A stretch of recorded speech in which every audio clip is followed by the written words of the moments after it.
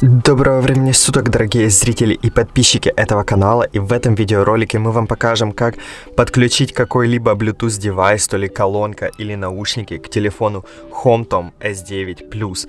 Для того, чтобы это сделать, нам нужно свайпнуть дважды вниз или свайпнуть двумя пальцами вот таким образом. И у нас откроется вот такое вот меню, где мы видим пункт, который называется Bluetooth. Мы зажимаем и удерживаем этот пункт немного.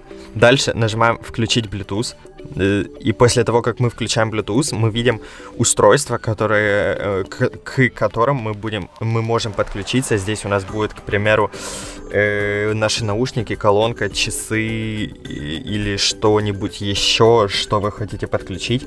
Мы нажимаем, и все, как вы видите, началось сопряжение.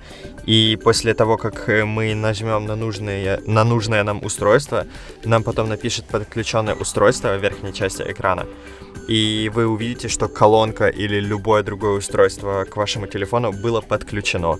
И в принципе на этом все. Спасибо, что смотрели. Подписывайтесь на канал, ставьте лайки. Всем пока!